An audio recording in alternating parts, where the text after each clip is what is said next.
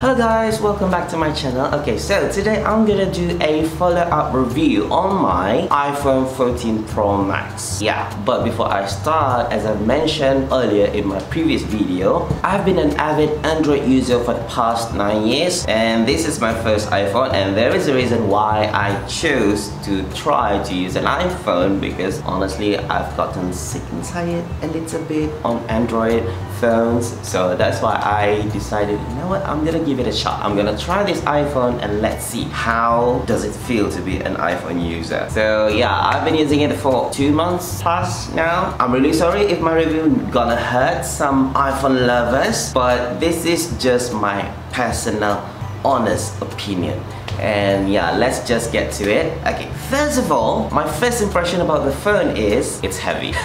Yes I'm not kidding. I was not expecting the phone to be this heavy compared to my Android phone. I mean this iPhone probably weigh at least twice. It's heavy. Uh, to the point that in the first month I'm using this phone I couldn't use them while laying down. I was afraid that I would drop it onto my face literally on my first month, I still opt to use my Android phone when I am watching YouTube whatsoever when I'm laying down on my bed. Understandable though because of the material they use to build this phone. It's made out of steel, is it? uh, again, I'm really sorry, I don't really know much about iPhone, but that is just my first impression. This phone is heavy, but after a while, you're gonna get used to it. Nowadays, I kinda gotten used to the weight and I have this thing as well. So I will always just like yeah use it like this just to secure myself and the phone as well because I do not want to drop the phone. One thing I am very disappointed with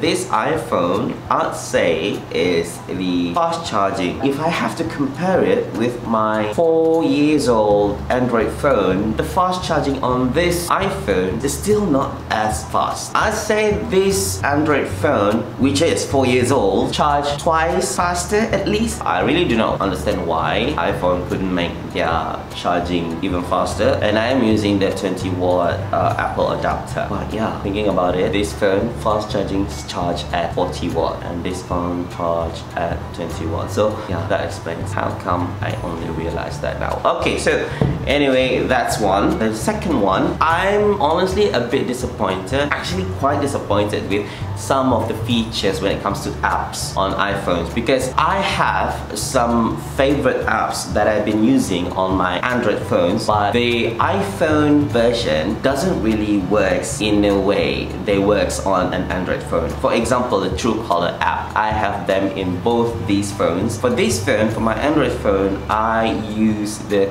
app for all my calls and messages. It works amazingly to track whoever making a call to my phone, especially scammers or banks or insurance agent and such. That's why I love the app so much. But the iPhone version of the app is not really working that way. Maybe I don't really figure out the configuration quite well, but it's not really working as it works on Android phone. Even the app interface is actually quite different. And that is actually not only just that one app. There are other apps as well that I find it different between the Android and the iOS version. And yeah, that is, I'd say, very disappointing for me because, oh my gosh, it's blacked out. Anyway, I'm just gonna continue. But one thing I really, really do not like about iPhone will be the fact that most of the things I want to use in my iPhone, I have to purchase them. Even like setting a ringtone, I have to purchase the ringtone from iTunes and such. Even though I've transferred songs from my MacBook, it doesn't really work that way. I could save my music for listening, but when I want to set them as my ringtone, it keeps asking me to buy a new one from the iTunes. Yeah, that is one thing that I kind of just given up on iPhone like setting the ringtone so eh?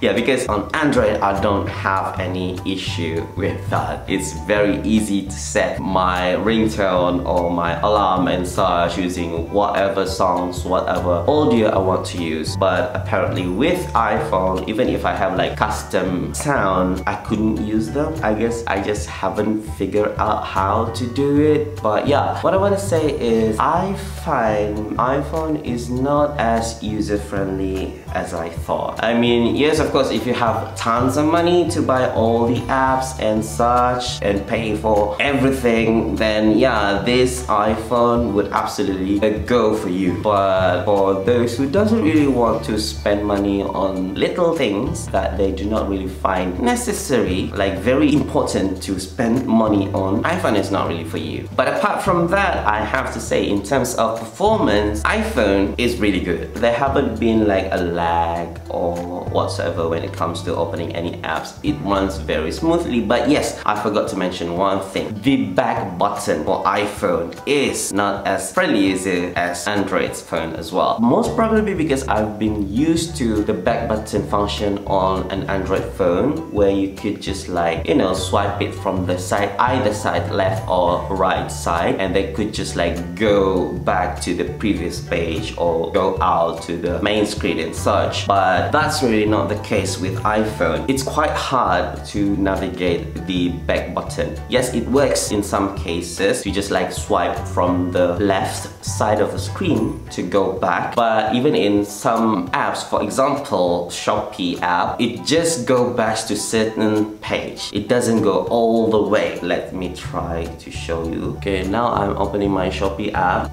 I couldn't really go back. It just swipe like, uh, no, no, it's not working. I have to click on the back button on top of the app instead. Yeah.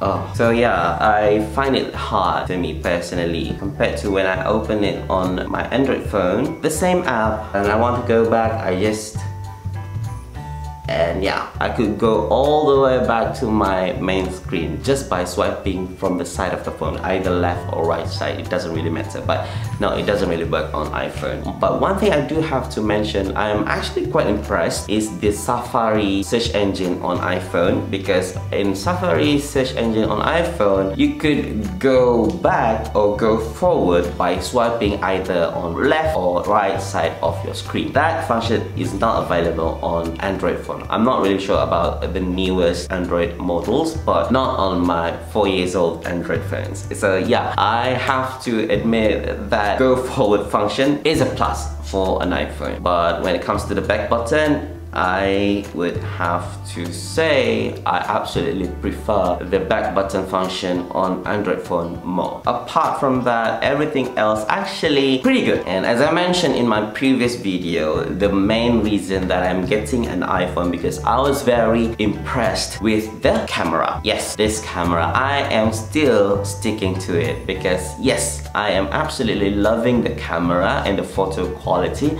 and I really love the live picture function on iPhone which is a really good function if you're not really sure if you could always take a good picture because you could pick which frame you want to take from that particular picture. So yeah, I am absolutely loving that function and I am still sticking to the fact that iPhone camera pictures and videos have better quality compared to Android phones. Even the fact that Android phones usually have like bigger megapixels in terms of the camera resolution and such but when when it comes to the photo quality, I would say hands down iPhone pictures comes out better. Better depth, better clarity, and the colors is richer and such. So yeah, I'm gonna stick to that. But when it comes to the front camera, when it comes to selfie, it is good if you want to have like a very clear, natural picture. Yeah, when you take pictures, selfies with many people in one frame, the pictures actually comes out really, really, really nice. I really am loving the pictures, the selfies taken with iPhone. The quality is superb. But when it comes to selfie with just yourself, it gonna brings out all your flaws as well. So yeah, if you don't really mind showing your scars and such, then yeah, it's fine. But if you want to have like tilted pictures or filtered selfies, then Android phone is the one for you. I guess that is kind of like the selling point for Android phone. If you want to have like selfies that looks retouched, then yeah, you should go for Android. But if you want to have like a very honest camera